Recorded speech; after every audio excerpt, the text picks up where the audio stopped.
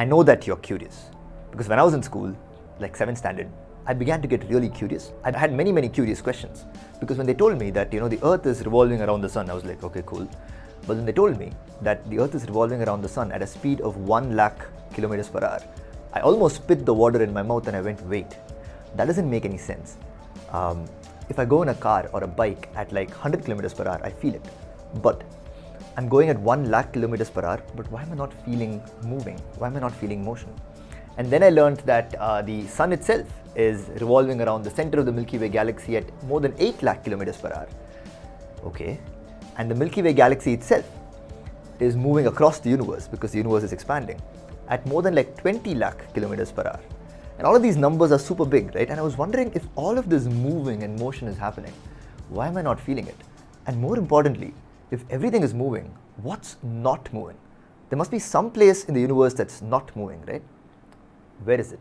Now, these questions they told me are science questions, but the question I have for you today is what is science really?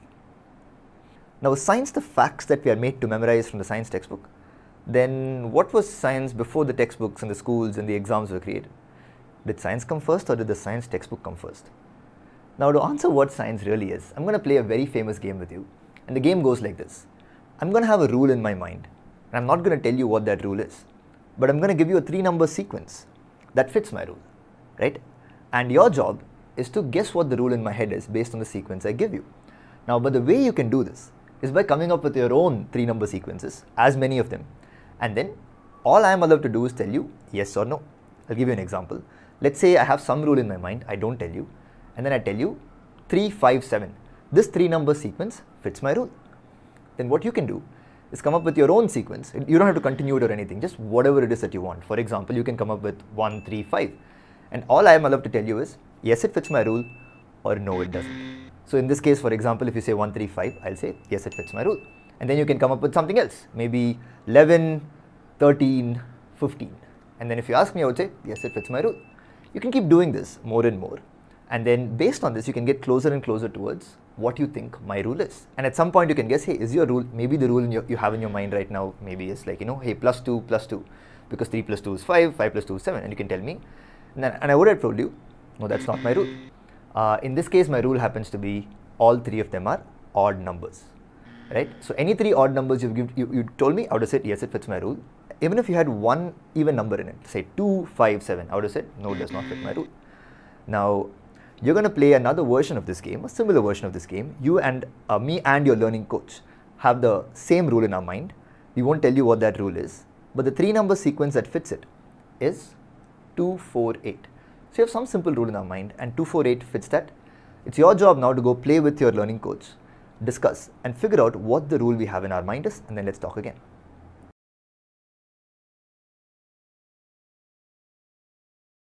Now, whenever I've played this game with anybody, not just students, most of them, most human beings come up with a rule at the beginning itself in their mind. Something like, you know, one of my students actually had a rule that, okay, this guy is multiplying by 2. That's the rule he has. 2 into 2 is 4, 4 into 2 is 8.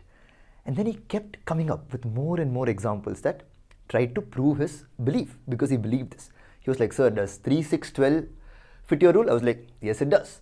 Uh, he asked me, is 10, 20, 40 fit your rule? I said, yes, it does.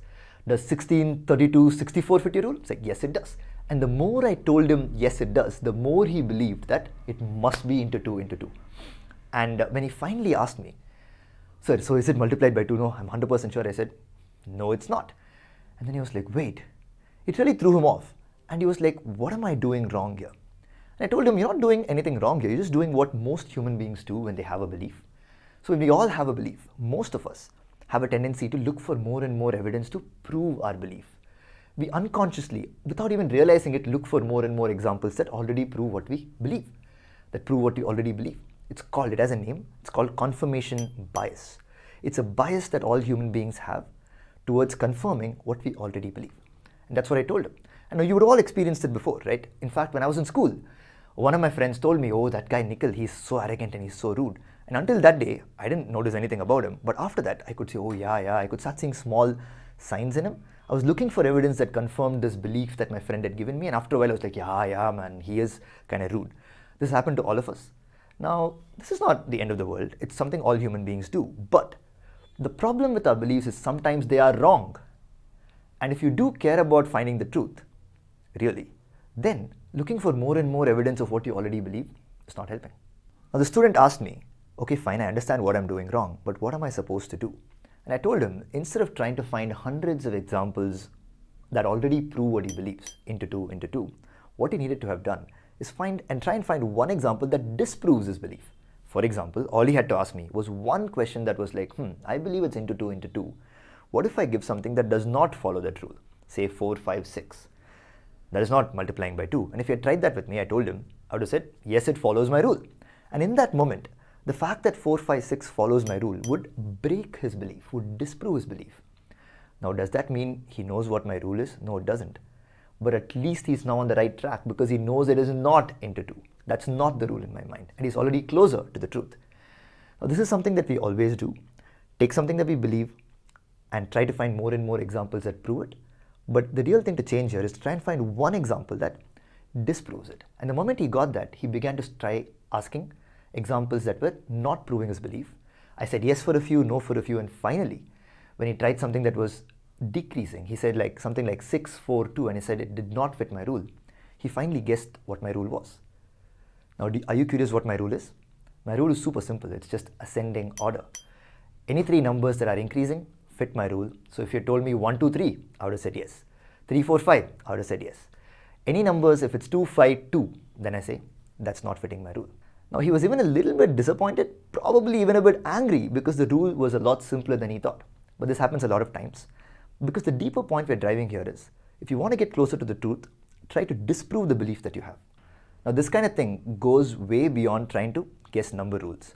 Long ago, there was some human being somewhere, I'm pretty sure, whose path the black cat unfortunately crossed. And then on that day, he had bad luck. He formed a belief, for who knows why, that the black cat crossing cost his bad luck.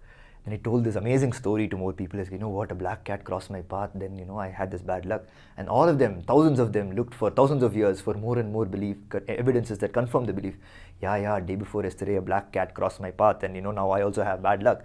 All it needed was one person, one time to say, hey, I'm just going to take 10 people, make a black cat cross their path without them knowing, and then compare if they had more bad luck than some other 10 people who had no black cat crossing their path.